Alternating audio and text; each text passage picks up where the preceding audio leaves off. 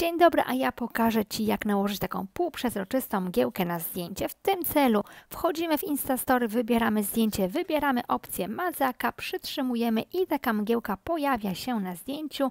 Teraz gdybyśmy chcieli nad tą mgiełką nadpisać jakiś napis, na przykład o chociażby dzień dobry i jeszcze chcielibyśmy zrobić to w różnych kolorach, zaznaczamy sobie ten napis i później Jedną ręką zdejmujemy zaznaczenie, drugą ręką przesuwamy po palecie kolorów, tak żeby kolejne literki zostały oznaczone innym kolorem i mamy taki wielokolorowy napis i gotowe.